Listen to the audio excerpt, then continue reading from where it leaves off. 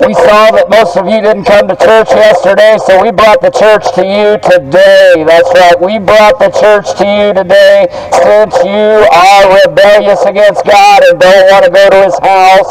Uh, apparently, people have things against houses, but I noticed that everybody seems to have a house. Uh, all these people have something against going to the house of God, but they seem to all have houses for themselves. So they're not exactly against buildings. I can only draw the conclusion that you must be against the building specifically named the house of God. Yes, it must be God that you're offended with because everybody doesn't have a problem going to a house when they want to go to sleep at night. Uh, they even have houses for the cars to stay in. Uh, they're not offended by those houses, but the house of God seems to be somewhere that you people want to stay away from. So since you skipped church, we brought church to you today. You need Jesus Christ. That's the simple truth.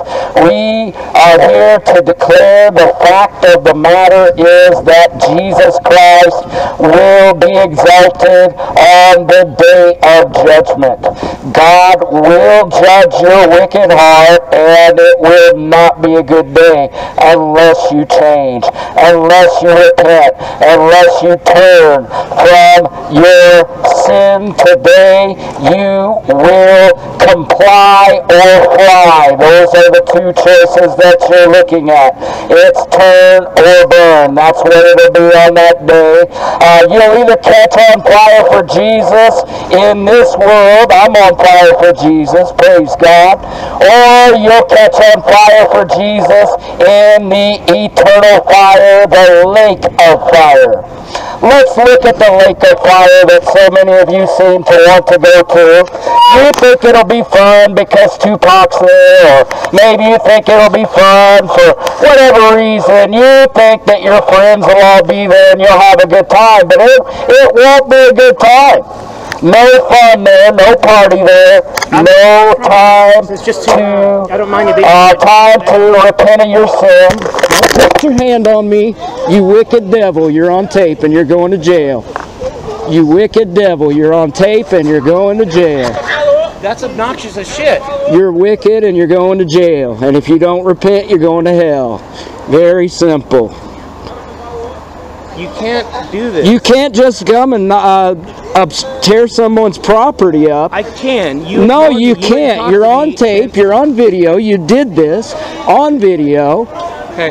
and you're going to jail. I just want you to keep it down. I, I love. Uh, I love no. you can do this as a great country to be. Uh, in. no, But you gotta don't love it at all. You just damaged my property. I do not. No, you have You no, don't. you You're have no right to just to damage his equipment. When you're out Uh, of ordinance, yes, I I'm at No, you Decatur. No, train you don't. station. I've been You can call the assaulted. Time is short. Hell is hot. For you to repent of your sin today. There's no hope in your dope.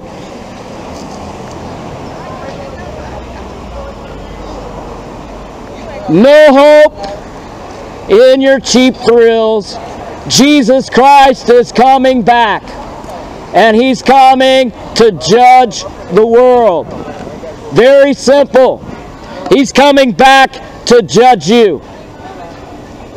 It's not going to be hard for most of you. You could look around your life, just open a Bible and see that you are not living holy. So it's going to be easy to figure out just how God will judge you. It will not be hard to figure out just how God will judge you. It's all written clearly in the Bible. Can, I ask you to like inform me, inform me on what you're teaching?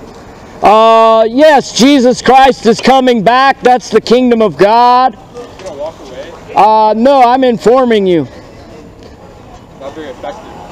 What's that? It's not very effective. Uh, can you hear me? You can't hear me? So what's ineffective? The way you're trying to teach. I- I'm making sure that everybody can hear me because you're not the only person that matters to God. Everybody here matters to God. That's the simple truth.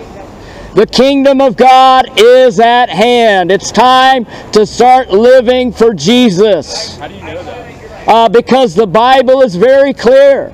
Something that was uh, passed down orally for thousands of years? Uh, no, the Bible that was written by holy men from the beginning.